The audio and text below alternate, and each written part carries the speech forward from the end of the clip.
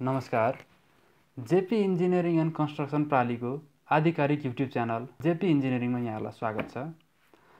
तपाईँहरूलाई लाग्न सक्छ जेपी इन्जिनियरिङ एन्ड कन्स्ट्रक्सन प्रालीलाई युट्युब च्यानल खोल्न के का लागि आवश्यक पर्यो? यो प्रश्न तपाईँहरूको मनमा आउनु स्वाभाविक नै हो।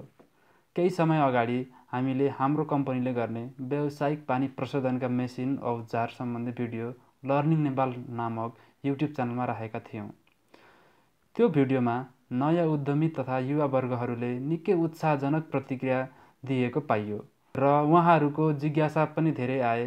यसो भइरहँदा हामी साँच्चीकै आवश्यक नवप्रवर्धन उद्यमीहरूलाई आफ्नो कार्यक्षेत्र अन्तर्गत पर्ने आकर्षक र गुणस्तरयुक्त मेसिन तथा औजारहरूको बारेमा सही सल्लाह सुझाव प्रदान गरी उद्यमशीलता विकास विकासमा टेवा पुर्याउने विश्वासका साथ यो युट्युब च्यानल सुचारू गरेका छौँ। यो त भयो यस कम्पनीले के का लागि युट्युब च्यानल सुचारू गरिएको भन्ने जिज्ञासाको उत्तर।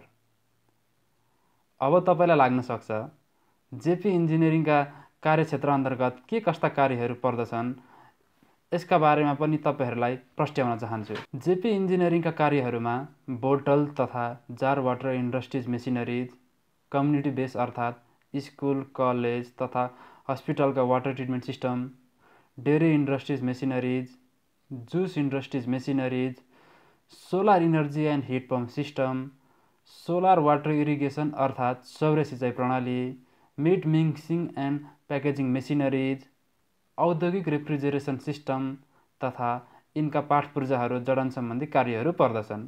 यो त भयो जेपी इन्जिनियरिङले गर्ने कार्यहरू। विगत दसौँ वर्षदेखि यी कार्य क्षेत्रहरूमा सफल अनुभव बटुलेको जेपी इन्जिनियरिङले यिनै विषयवस्तुहरू गरेर तयार पारेको भिडियोहरूलाई नछुटाइ हेर्न र आवश्यक परामर्श लिई विज्ञता हासिल गर्न र सफल उद्यमी बन्न चाहनुहुन्छ भने यस च्यानललाई लाइक र सब्सक्राइब गर्न नबिर्सिनुहोला। धन्यवाद। नमस्कार।